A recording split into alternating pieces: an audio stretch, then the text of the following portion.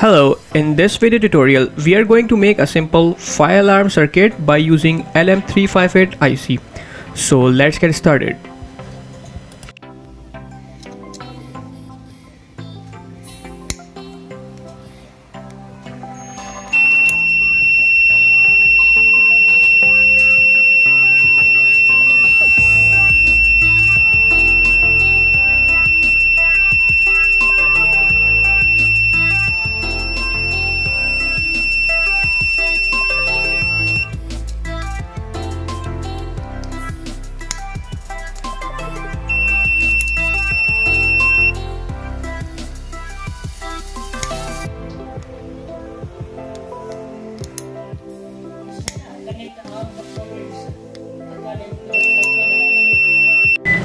This video tutorial is sponsored by utsource.net. They have a variety of components, sensors, ICs, module, transistor, resistors and development kit at affordable price.